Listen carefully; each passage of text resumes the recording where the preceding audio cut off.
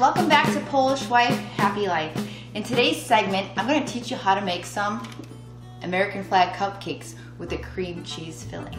Now with this recipe, I just wanna let you know there's one ingredient in here you might not have ever used before, and that first one is goat milk. It's a creamy uh, texture to it that it's great to add to a cupcake recipe. Um, the second ingredient that we're gonna use that you may have not used in a dessert recipe is applesauce. And I'm using this to decrease some of the butter, um, so that way this recipe is a little bit healthy.